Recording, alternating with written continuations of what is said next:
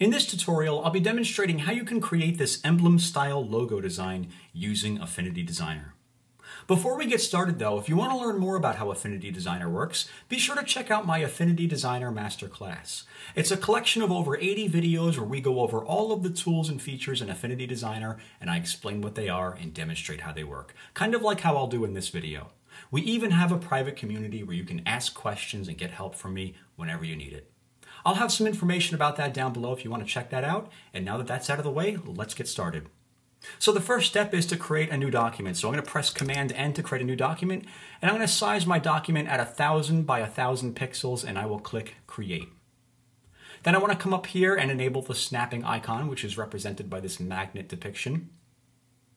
And then I'm going to grab my circles and ellipses tool, and I'm going to snap the cursor over here to the center of the page. And you'll know you'll have it snapped to the center of the page when you see the vertical and horizontal guides being activated. And then I'll hold Command and Shift and click and drag to draw a circle that goes about halfway through the page like that. Now I'm going to grab my artistic text tool and I want to place some text on top of this circle. But to do that, I'm going to have to hover the cursor over the edge of the circle's path. And if you notice when I do that, the cursor icon changes to a letter T with a squiggly line underneath it. And once you see that, you can go ahead and click on the path, and that's how you will be able to put text on that path. And for this demonstration, I'm just going to create a fictitious logo called Austin Brewing Company. So I'm going to type that in. And I want to make it so that my text goes over the top of the circle and is centered. So to arrange that, I'm going to grab this green handle right here and snap this to the left edge. And then I'll take this orange handle and snap that to the right edge. And that tells Affinity Designer where the start and the end point of the text should be. And I'm going to press Command A to select all of the text so I have it all highlighted. And then I will choose to center align it, and that'll put it directly in the center on top of the circle. So for this design, I'm going to work with a different font. So I'll come up here to my font selector, and the font I'm using is called League Gothic. I'll choose that font. There we go. Any sans style font should work. You don't necessarily have to use this one. And I want to make the size of this larger, so I'll change this, uh, this size setting up here to something like 72. And I want to place the text going halfway through the path rather than sitting on top of it. So to do that, I'm going to change the baseline percentage. I'll move this up to about 35%. And then I want to put some spacing between these letters. So to do that, I'm going to hold my Option key, or that would be Alt if you're on Windows, and press the right arrows repeatedly to put some spacing between those letters. Now I'd like my, my text to go further down than the halfway point. So what I'm going to do is I'm going to take the start point and move this down here to the bottom left quadrant. It should snap when it gets there. And I'll do the same thing to this handle over here. I'll take the end point and move that to the bottom right quadrant. And then I will continue spacing out my text. And that is the effect that I'm going for right there. Now that that's done, let me grab my selection tool and zoom out click off of the object to deselect everything. And now I'm going to put a circle going through the center here. So let me grab my circle tool again. And I'm going to snap to the center of the page, click and drag, and then hold Command and Shift to scale out from the center, just like that. And then I'm going to make this a shade of orange.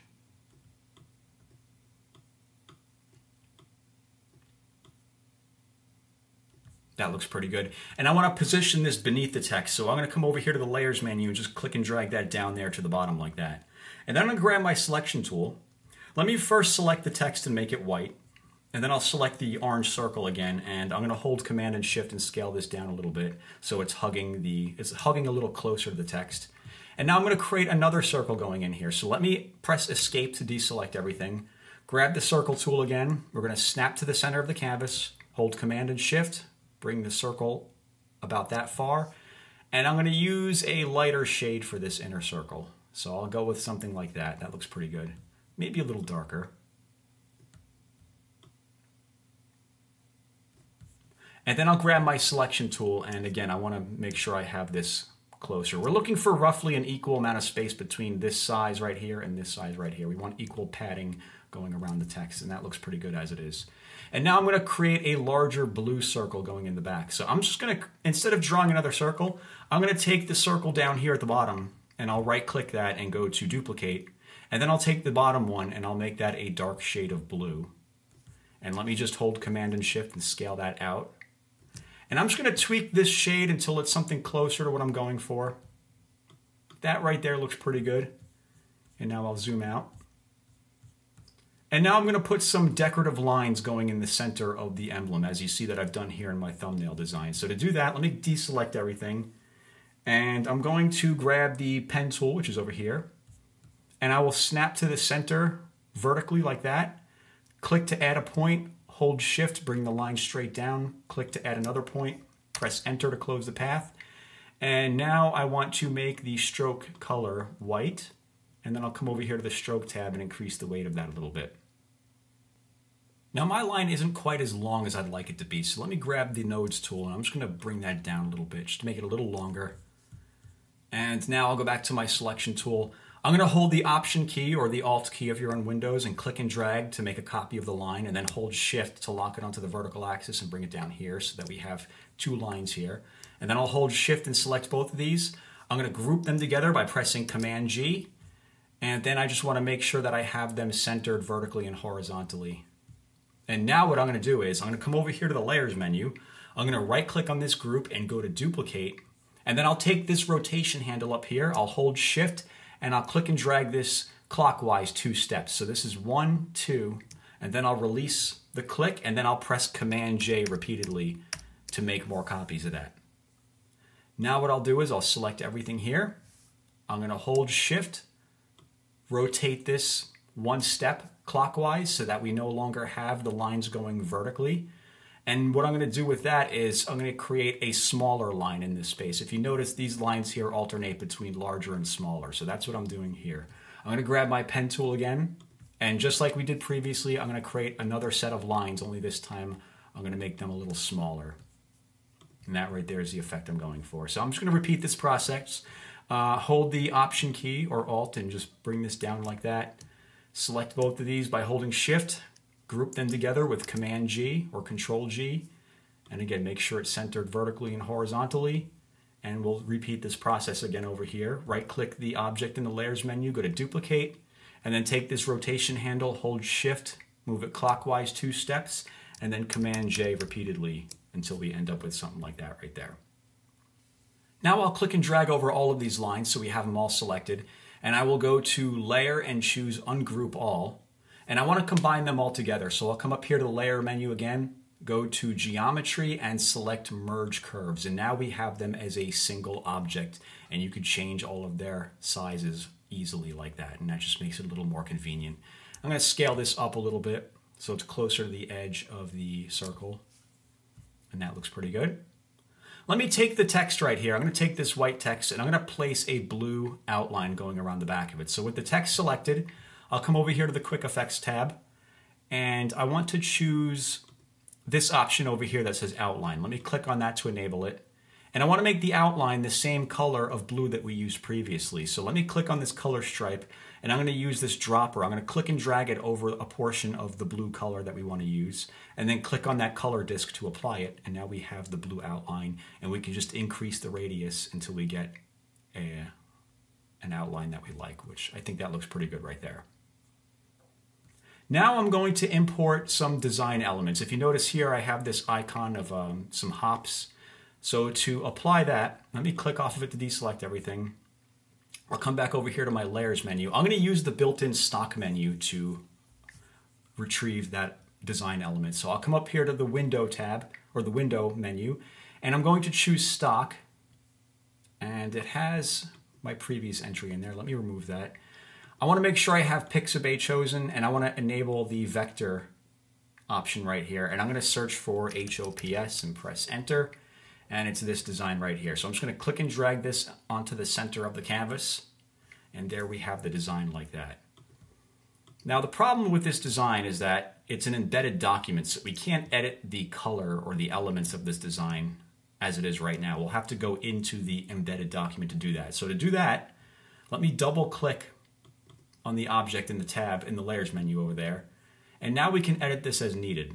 So I want to make this black color the same color of blue that we worked with previously. So I'm going to select that and I'm going to choose that blue shade from my color picker. And then I will come down here to the green elements and I will make those white. And now what I can do is I can select everything, or you know what, I'll have to come over here to the layers menu and hold shift and select both objects. Right click, go to copy, and then come over here And there we actually no, we don't have to paste it. It's already the changes are already applied. So I was going to paste that in there, but it already updated the uh, colors in real time. So that's good. One less step. So next we're going to import the skyline. This is the Austin skyline. We're going to use the same process here. Let me remove my previous query and type in Austin and press enter. And there's the element I'm looking for. I'll click and drag that. Or you know what, let me come back into my logo document. I'll click and drag that onto the canvas. And again, we're gonna have to repeat this same, uh, this same step. I'm gonna double click the icon in the layers menu to open it in a new tab.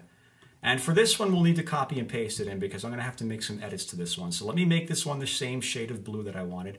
And now I will right click it and go to copy. And I can close out of this tab now and close out of this one as well because we don't need them anymore. In fact, I can just delete this because we don't need that. And now I'm just gonna press Command V to paste that in there or Control V if you're on Windows. And let me just, let me turn off snapping. That's just gonna get in the way at this point. And if you notice, the way that this design is laid out, this left side of the skyline is getting in the way. So I'm going to remove that. Let me close out of the stock tab. We don't need that anymore. I'm going to grab the rectangle tool and just draw a rectangle going over that portion of the skyline. Hold shift and select both objects and then just subtract them using the Boolean operations. And then I'm going to place this design, I'm going to place this skyline up, up roughly about where I'd like it to be relative to the rest of the design. So I'm going to have to scale it up and down and reposition it as needed. I may even have to move this design around as well. I'm going to flip that to get a better, or you know what, I like that orientation better. I'm going to make, I'm going to flip this one horizontally. That looks better. Make that a little larger. Bring that down a little more. And if you notice, this doesn't really cover, the blue skyline doesn't cover all of the open space over here. So I'm going to grab my nodes tool and just select those nodes and bring them down. There we go.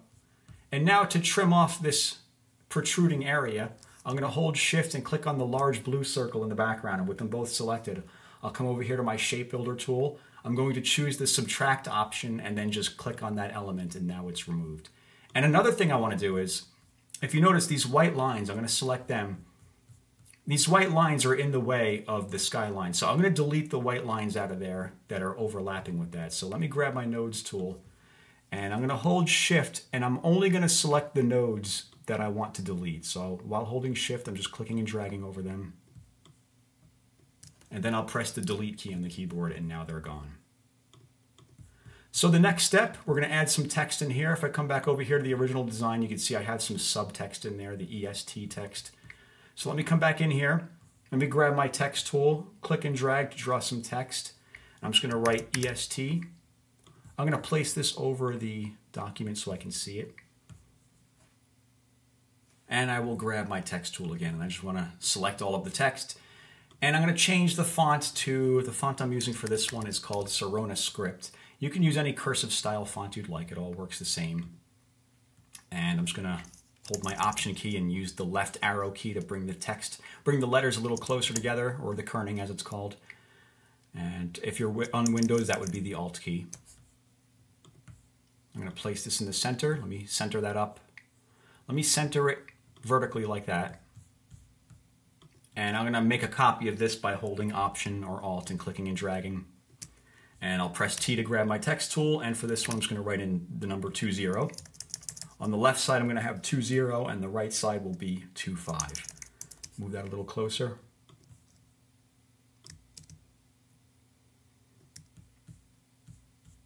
and I'm going to, let me press escape to deselect everything. I'm going to grab my pen tool and draw a line going over the top here. So I'm going to hold shift like that, and I want to make this line a smaller width.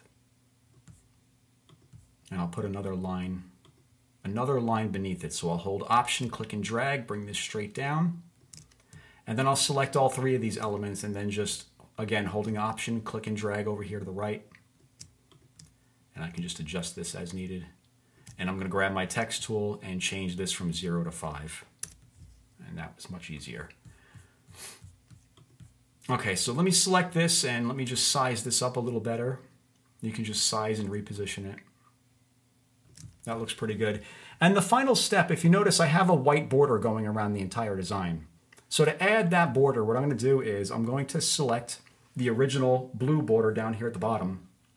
And then I'll come over here to my Quick Effects tab and I want to apply an outline and increase the radius of that until it's large enough as I like it. And the outline is black by default, but I'm going to change it to white.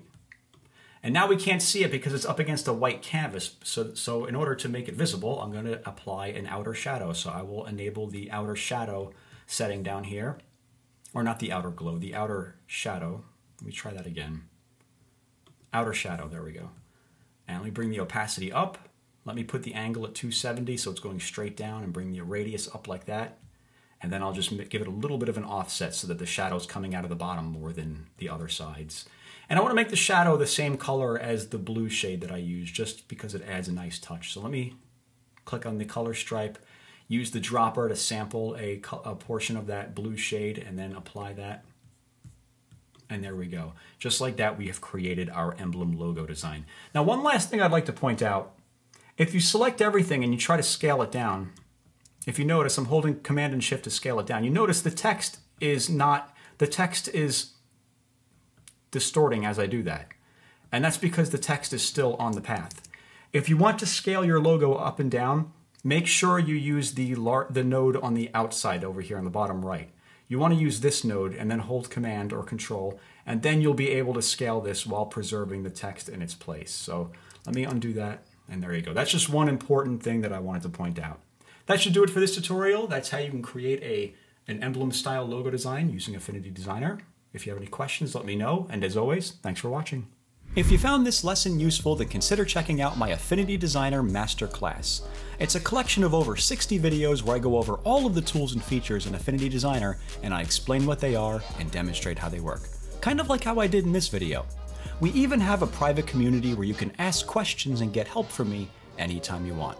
And best of all, there's no monthly membership fees. You just pay $17 one time and you're in for life. I'll have some information about that down below if you want to check that out. As always, thanks for watching.